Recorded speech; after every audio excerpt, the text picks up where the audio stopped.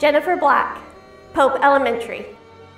Kindness really helps you take yourself out of the picture and think about others in a way that um, maybe that kindness has been shown to us in the past. There's a lot of emphasis on the academic growth of a child and really pushing them academically to be the best that they can.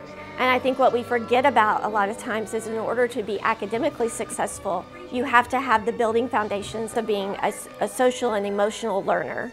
And I think that sometimes we push that under the rug, we don't think about it, but that's really the foundation for all of the academic learning.